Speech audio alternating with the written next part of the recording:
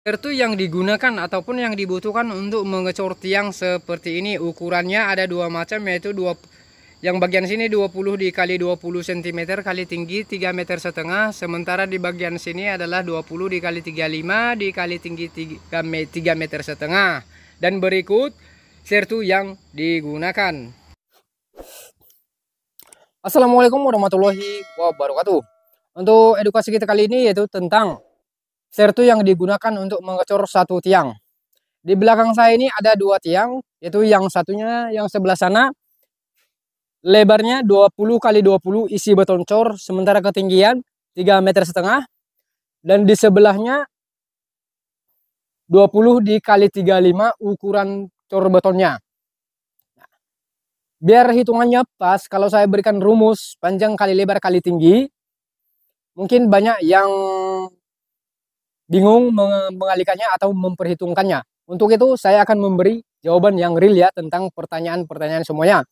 Jadi untuk mengecor satu tiang dengan ketinggian 3 meter setengah, lebar 20 dikali 35 membutuhkan sertu ataupun pasir yang campur kerikil yaitu 5 gerobak dengan semen satu setengah sak lebih. Sementara untuk tiang 20 dikali 20 dikali tinggi 3 meter setengah membutuhkan sertu yaitu kurang lebih 3 gerobak. Sementara untuk isi gerobaknya tidak boleh terlalu penuh, sedang-sedang saja di, di, di dalam gerobak. Kalau terlalu penuh, saya pastikan akan banyak berlebih. Dan takaran yang saya maksud untuk satu gerobak adalah seperti begini. Perlu diketahui ini bukan sertu untuk pengecoran, tetapi untuk pasang batu bata ya. Jadi kalau melebihi dari sini saya pastikan juga aduan coran nanti akan banyak terbuang ataupun tergunakan di tempat yang lain yang bukan seharusnya. Untuk volume tiang atau pengecoran tiang yang lebih besar dari yang saya sebutkan tadi, maka silakan tambahkan setengah gerobak.